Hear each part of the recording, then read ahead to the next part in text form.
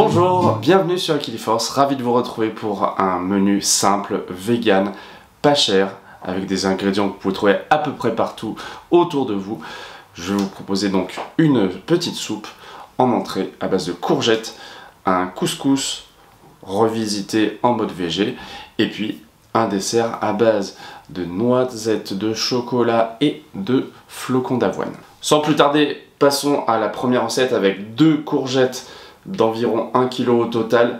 Ça fait 2 euros le kilo en comprenant ce petit oignon français également. L'idée c'est de pouvoir faire une soupe qui se mange aussi bien chaude que froide parce que en été on aime bien la fraîcheur mais quand il fait pas très beau comme pour cet été 2024 on aime bien aussi se réchauffer le cœur et le corps avec une petite potion magique et c'est ce que je vous propose, j'espère que ça vous plaira. Ça va être l'occasion pour moi de ressortir mon Moulinex Fresh Express qui permet de faire des tranches de euh, courgettes très rapidement.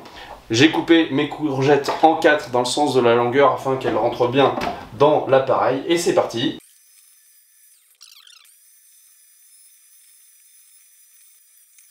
Et voilà, en une minute, j'ai mes deux courgettes très grosses coupées en petits morceaux, parfait. Bah, pour faire une petite euh, soupe, mais aussi ça peut très bien se croquer comme ça, hein. c'est cru, c'est sain, c'est très peu calorique. Après, il faut quand même qu'on l'assaisonne un petit peu cette soupe. Par exemple, on mettra de la crème pour que ce soit onctueux, crème végétale de la marque Bjorg, amande, elle est moins calorique que par exemple la crème de riz. Après, je pense que de la menthe, ça peut être super bon, à la fois chaud ou surtout froid. Mais comme j'en ai pas, bah, je vais mettre de l'aneth. Ah, je vais mettre aussi euh, de la poudre de poivre et d'ail. Ça permettra vraiment de donner du tonus à cette mixture. Puisque on est sur les courgettes, euh, quelques idées. Si vous avez une trop grande quantité, vous pouvez la manger crue, comme je l'ai dit, en salade, en assaisonnant bien avec euh, une huile d'olive, des aromates qui vont lui donner du caractère. On peut également la transformer aussi en avec une pâte brisée maison, c'est très très bon, facile à faire vraiment, même sans robot, même sans matériel. C'est une recette que je vous ai montrée sur Equiliforce déjà. Et puis on peut aussi l'incorporer à des gâteaux notamment avec du chocolat, ça remplace le beurre, c'est indétectable, et là aussi c'est une recette que vous avez déjà sur la chaîne. Bon c'est le moment d'éplucher l'oignon, hein, de penser à des choses tristes ou pas, mais euh, en tout cas j'espère que ça vous apportera quand même du bonheur, puisque c'est ça le but, c'est d'arriver à faire des petites recettes simples, saines, gourmandes quand même, et puis facile, rapide. Et là pour euh, une soupe pas besoin de fignoler, on va le couper en morceaux comme ça. Et je vais directement le couper dans mon petit faitout, en morceaux comme ça. Ah, ça saute. Après, je rajouterai de l'huile d'olive. On peut faire l'inverse, faire chauffer l'huile d'abord, ça marche aussi. J'aime bien aussi enlever le germe, c'est meilleur pour la digestion, me semble-t-il. Tchac, il est là le petit germe. Voilà, je vais le faire saisir dans un petit peu d'huile d'olive. Si vous n'avez pas utilisé une autre huile qui va bien pour la cuisson. Hop, moi c'est à la louche, hein, comme ça. Et c'est parti pour 4-5 minutes. Je vois que mes oignons ont bien doré, donc euh, j'ai fini de les faire tourner pendant 3-4 minutes. Je vais rajouter les courgettes.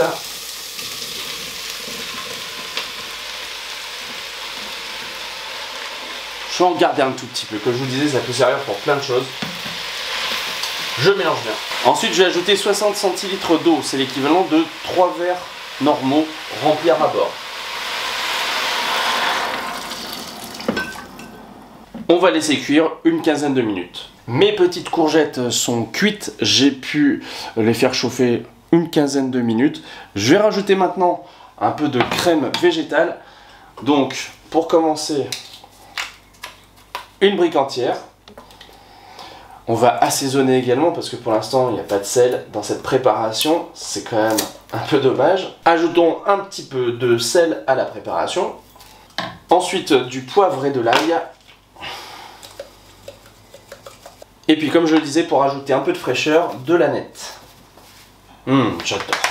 Je vous montre le résultat avant mixage. Je goûte parce que c'est toujours important. Hmm. Et dans 30 secondes, j'ai ma petite soupe.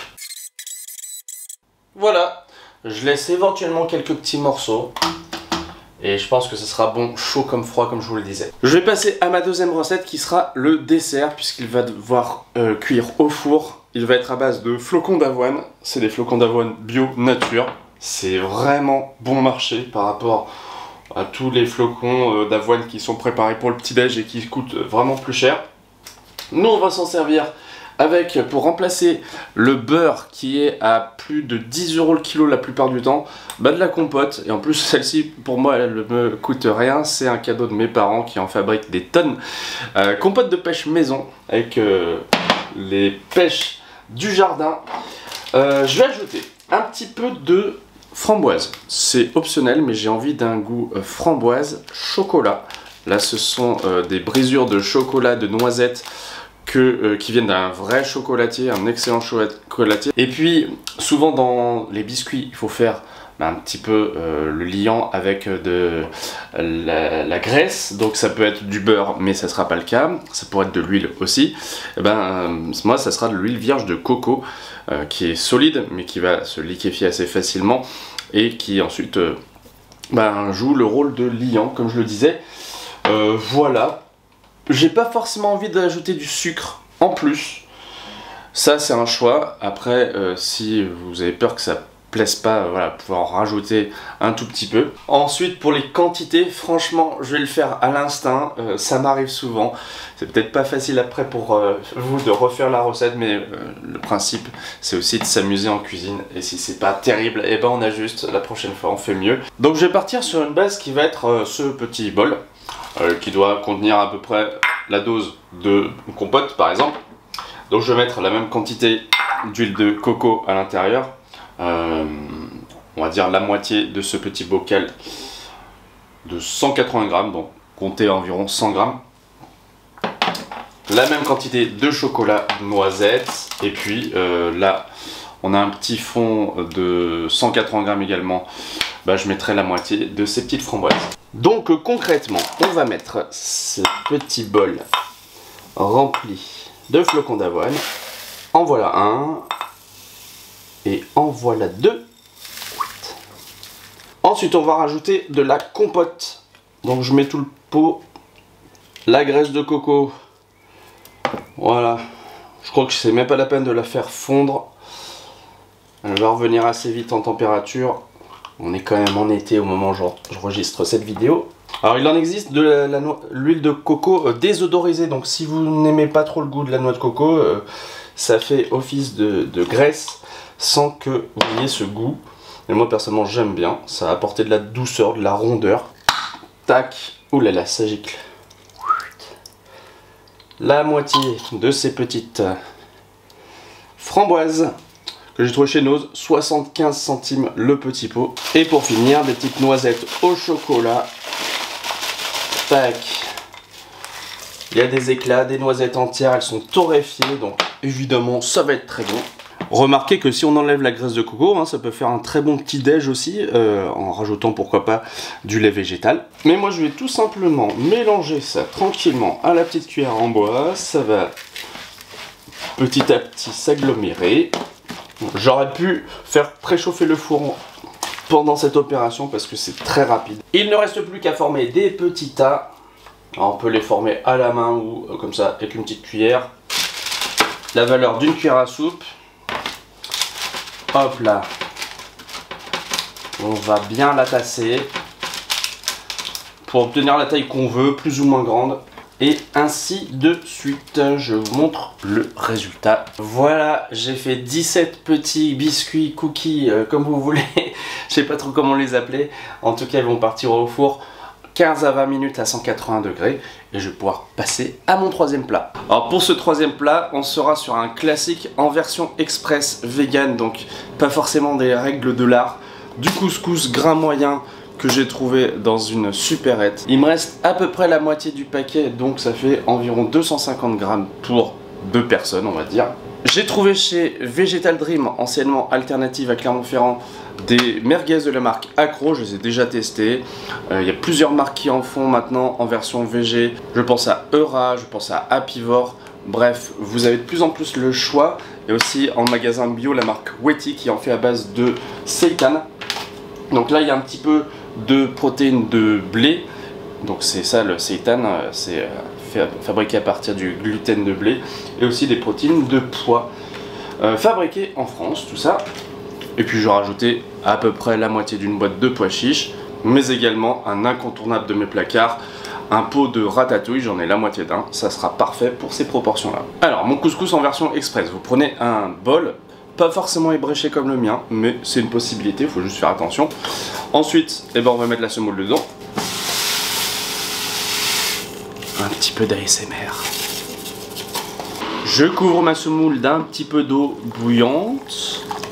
Voilà. Je laisse euh, à peu près un demi centimètre d'eau. Et bien sûr, après, il faut couvrir pendant 5 minutes. Je pourrais saler après, c'est pas grave. Et pendant ces 5 minutes, eh bien, à la poêle, je vais faire revenir les petites merguez de la marque Acro. Hop là Je vais ajouter directement la ratatouille. Et puis je vais goûter un petit peu les pois chiches. Au bout de quelques minutes, j'ai donc rajouté ma semoule à la préparation avec les petits euh, pois chiches, la ratatouille et surtout ces merguez végétales. Ça me donne mon plat unique pour 2 euh, à 3 personnes. Je vais quand même vous le montrer d'un petit peu plus près. Voilà, j'espère qu'il vous fait envie. Juste à côté, eh bien, on a la petite soupe veloutée crémeuse de courgettes et qui est vraiment bonne. Et patience parce que le dessert arrive dans un instant. Lors du live Insta que j'ai fait pour présenter euh, mes petits plats en exclusivité avant le lundi vert, eh bien j'ai eu une question, euh, est-ce qu'il existe des recettes de gaufres vegan? Ma réponse c'est maintenant que vous connaissez Force, tapez dans un moteur de recherche ce que vous cherchez, par exemple une recette de gaufres plus Equiliforce et vous aurez la réponse. Il y a tellement de recettes que j'ai déjà faites que vous pouvez sans doute trouver votre bonheur. En tout cas, je vous le souhaite. Ça y est, j'ai sorti et rassemblé sur une seule plaque mes petits biscuits. Ils sentent bons, ils sont moelleux comme je le souhaitais. Et après, je pense qu'avec euh, le fait de refroidir, ils vont durcir. Allons les voir d'un petit peu plus près. Donc voilà, ils ont pris une couleur un peu brune. On voit encore les petits morceaux de chocolat les noisettes grillées. Ici, on a le petit couscous, la petite soupe de courgettes qui peut se manger chaude ou froide. Je goûte quand même mes petits biscuits sortis du four. Mmh, ça me va. Donc les proportions que je vous ai données conviennent bien. Hein, pensez au contenant deux bols de flocons d'avoine et après, vous avez vu, on peut garnir pas mal euh, ces, petits, euh, ces petits biscuits avec ce qu'on a sous la main, ce qu'on aime. Mmh. je valide. Et si vous validez ce genre de recette, je vous remercie de mettre un petit like, un commentaire, c'est toujours utile pour la chaîne. Merci et à bientôt sur Force. Salut